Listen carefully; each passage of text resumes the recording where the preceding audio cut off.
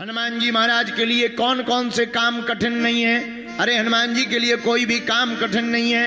कौन कौन सा ऐसा काम हनुमान जी ने किया? तो सुन लीजिए, कल हमने आपको तीन बातें सुनाई थी। लंका जाना, संजीवनी बूटी लाना, अजर अमर सेना को हटाना। ये तीनों कठिन काम हनुमान जी ने किए थे। आज हम आपको एक दो बातें और बता देते हैं। कवन सुकाज दिन जग जो नहीं हो ही बात तुम और कौन सा काम हनुमान जी ने कठिन किया? आहा हा। जब रामा दल में रावण जीत नहीं रहा था रावण हारने लगा सेना मरने लगी तो रावण ने को याद आया? अब राम और लक्ष्मण और हनुमान से जीतना मुश्किल है। तो रावण ने एक और रावण को बुलाया, जो बड़ा मायावी था। वह पाताल लोक का राजा था। यह रावण से ज़्यादा खतरनाक था। भैया, इसका नाम तो रावण था, पर जो पाताल लोक का राजा, कोट का राजा था, उसका नाम अही रावण था। अही रावण को बुलाया। इधर आओ। क्या बात है? रावण ने पूरी बात बताई। दो राजकुमार हैं, एक का नाम लक्ष्मण, एक का नाम राम। एक बंदर है, बहुत खतरनाक है। क्या नाम है? हनुमान। बहुत डेंजर है। उससे जीतना मुश्किल है। उसके आगे तो ठीक है, पीछे भी टिकना मुश्किल है। और हमारी तो पूरा साम्राज्य चला जाएगा। रावण नाम मिट जाएगा। भैया, हमारी मदद करो। तुम हमारी स, हमारी मदद करो। अही रावण बोला क्या मदद करे? कुछ भी? उन दोनों को अगर मार सको तो मार दो। अही रावण बोला हम हैं मायावी। हमारी शक्ति पाताल लोक में ज़्यादा काम करेगी। हम एक काम करते हैं, माया का रूप धारण करके विभीषण बनकर जाएँगे। राम और लक्ष्मण को, दोनों को उस युद्ध भूमि से चुरा करके रात के समय ले जाएँगे और पाताल लोक में ले जा करके अपनी कुल देवी को बलि चढ़ा देंगे। बोलो, जय सिया राम यही किया। रावण बोला, ये बढ़िया है, ठीक है ठीक है, ले जाओ ले जाओ ले जाओ। रात हुआ, हनुमान जी पहरे पर बैठे हैं। क्यों? हनुमान जी का काम ही राम द्वारे। तुम रखवारे।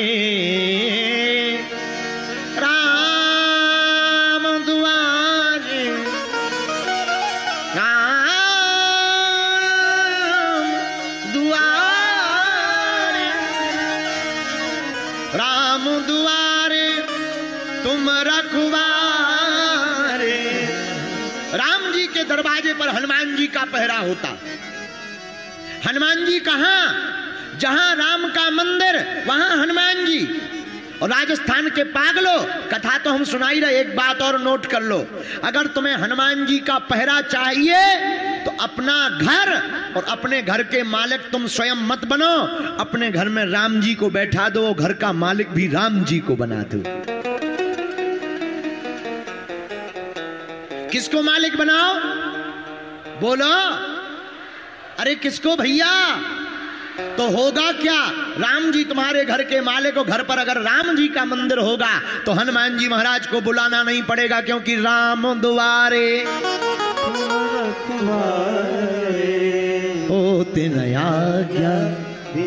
पैसा हनुमान जी पहरे पर बैठे पर अहि रावण बड़ा मायावी, विभीषण का रूप धारण करके राम और लक्ष्मण को चुरा करके ले आया।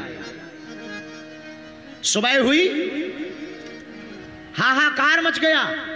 राम जी कहाँ हैं? हनुमान जी बोले, रात के समय। विभीषण जी से कहा, तुम ही तो आए थे रात के समय। इसके बाद नहीं है पता। विभीषण जी बोले, हम तो आए ही नहीं। हनुमान जी बोले, झूठ मत बोलो। रात को तुम आए थे। विभीषण जी बोले, हम नहीं आए। हनुमान जी बोले, आए थे। हम कौन नशा में या भाँग खा के बैठे? हमें याद है, तुम आए थे।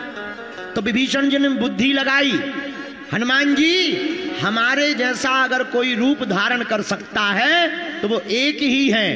कौन? पाताल कोटि का राजा अही रावण लगता है वही भगवान को लेकर चला गया। सब बानर भालू रोने लगे। सबकी आँखों में आँसू आ गए। जब राम जी ही चले गए, अब लड़ेगा कौन? हलुआ। लक्ष्मण जी ही चले गए। अब लड़ाई कौन करेगा? ऐसे समझो, किसी बारात का दूल्हा गायब हो जाए तो फिर बारात कहाँ नागन डांस करेगी? किसी बारात का दूल्हा गायब हो जाए तो क्या बारातियों का कोई स्वागत करेगा?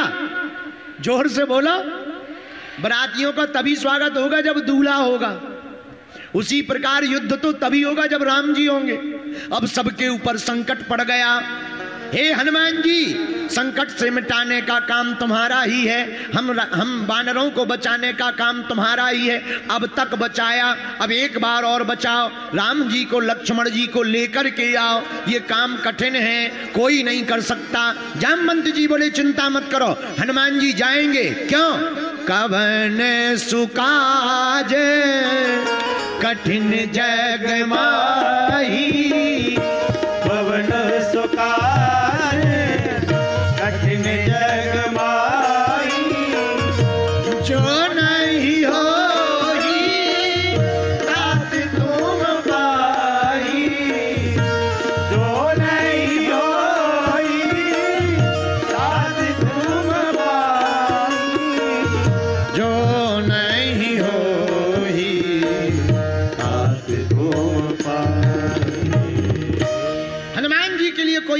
कठिन नहीं, हनुमान जी जाएँगे। हनुमान जी ने एक छलांग मारी। पाताल लोक में पहुँच गए। पाताल लोक में पहुँचे, दरवाजे पर एक और बंदर लगा था जो दिखने में हनुमान जी के जैसा था। हनुमान जी ने गौर से देखा, हमारी फ़ोटो कॉपी कहाँ से आ गई? है? ये तो हमारी फ़ोटो कॉपी है। हनुमान जी बोले, हट जा। बंदर बोला, कहाँ हट जा? हम यहाँ पर पहरेदार हैं।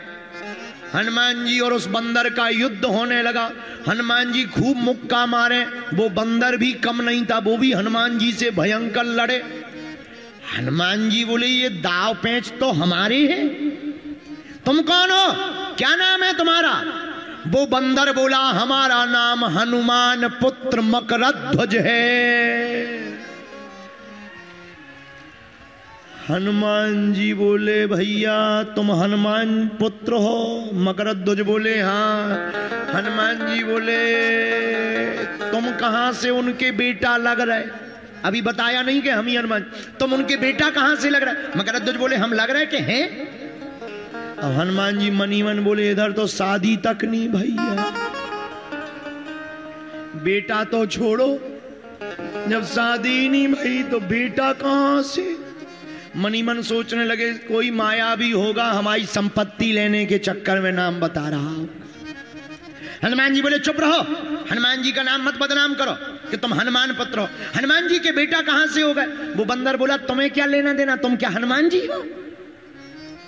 हनुमान जी बोले, हम वही हैं जिनके नाम को तुम बता रहे अरे पिताजी पिताजी। हनुमान जी बोले चुप। पिताजी मत बोलो, हम कब हो गए? इधर शादी तक भई नहीं है। और तुम कहाँ से हो गए? तब मकरध्वज ने पूरी घटना बताई। आप जब लंका गए थे, आपकी पूंछ में आग लगी थी, पूंछ बुझाई खोए श्रम। आपने समुद्र में जाकर के पूंछ को बुझाया था।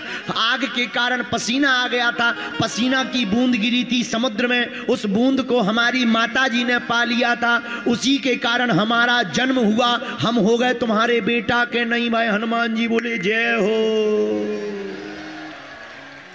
हनुमान जी धीरे से कान में बोले, अकेले ही हो के डबल है। आओ आओ, और तो नहीं है। एक ही हो के और भी है। एक ही हो के और भी है। मगर तो बोले, नहीं, बोले only one one piece only one one one one only one Hanuman ji बोले तो ठीक है। हनुमान जी बोले तो मकर बोले, तुम कौन?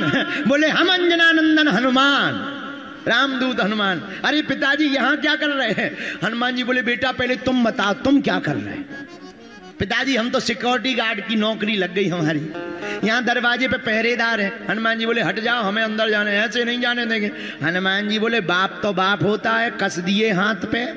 बोले, बंधे रहो। हनुमान जी अंदर गए, बोलो, जय सिया राम वहाँ पर राम जी और लक्ष्मण जी चिंता में इतना बड़ा संकट आ गया। क्या संकट आ गया? लक्ष्मण जी बोले, थोड़ी देर में गर्दन कटने वाली है। राम जी बोले, चितना, चिंता मत करो, बचाने वाला भी आने वाला है। लक्ष्मण जी बोले, काय में आएगा? पाताल लोक में है, ऊपर होते तो नेविगेशन काम करता। है? मैप भी काम नहीं करनी, नीचे का मामला है। यहाँ कोई सैटेलाइट सिस्टम भी काम नहीं करना। राम जी बोले, चिंता मत करो। लक्ष्मण जी बोले, चिंता नहीं है, कटना है, थोड़ी देर में बलि चढ़ना है। राम जी बोले, चिंता मत करो, कुछ देर में कमाल होगा। बोले, क्या कमाल होगा? कोई आएगा बचाने वाला? बोले हाँ। लक्ष्मण जी बोले, नहीं आने वाला। राम जी बोले, लखन लाल, थोड़ी देर में आएँगे अंजनी के लाल। लक्ष्मण जी बोले, काम कठिन है। तब राम जी ने भी कहा होगा, कवन सुकाज कठिन जग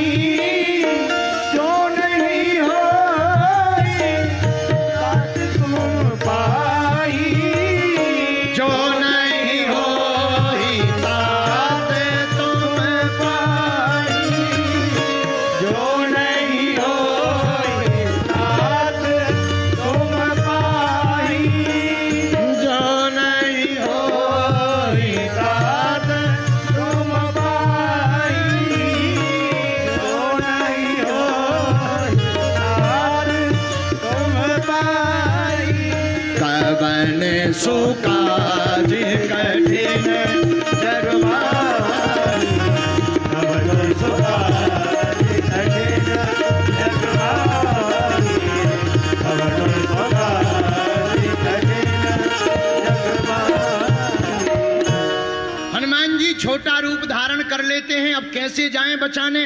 तो जो थाली में लाल लाल पुष्प जा रहे थे, उसी लाल लाल फूल में अंजनी के लाल बैठ गए।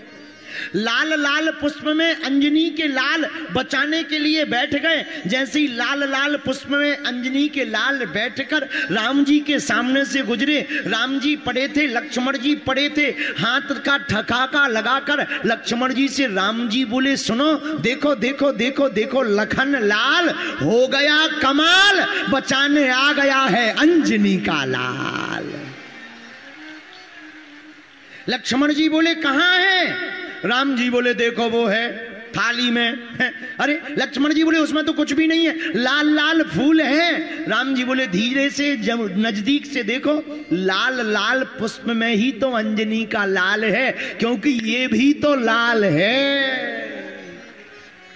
और हनुमान जी ने पाँच मुख रूप धारण करके, पंचमुखी हनुमान जी ने एक बार में पाँचों दीपकों को बुझा दिया, राम लक्ष्मण को बचा लिया, और यहाँ ये चौपाई सिद्ध हो गई।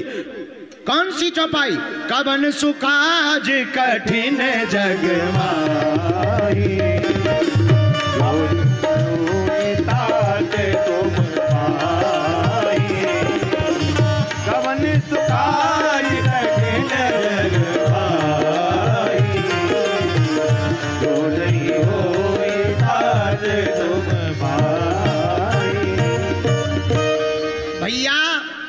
कथाओं से सिद्ध होता है कि हनुमान जी के लिए कोई भी काम कठिन, ज़ोर से बोलो, क्या नहीं है? तो कौन कौन आज से हनुमान जी की भक्ति करेगा? बागेश्वर धाम कौन कौन आने वाला है? पूजा करोगे हनुमान जी की? पक्का? कि कच्चा? जोश में के होश में? दो चार दिन के लिए या ज़िंदगी भर के लिए? तो जाओ, हम भी साचौर वालों पथमेरा से जुड़े पागलों वचन देते हैं। आज से तुम्हारे संकट तुम्हारे नहीं, हमारे वीर बजरंग बली के हैं।